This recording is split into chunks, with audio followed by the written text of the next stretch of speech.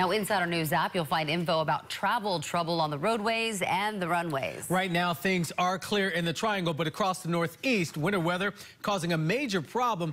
That means some flights out of RDU might not make it to their destinations when they're supposed to. Our Colleen Quigley joins us live from RDU tonight. And Colleen, what's going on out there?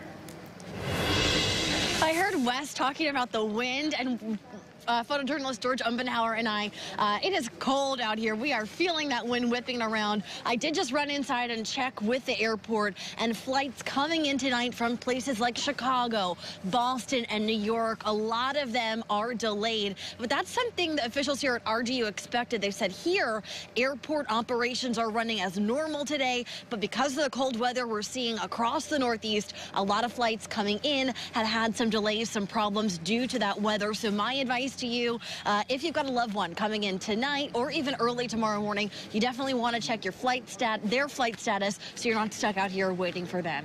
Reporting live at RDU, Colleen Quigley, CBS 17 News.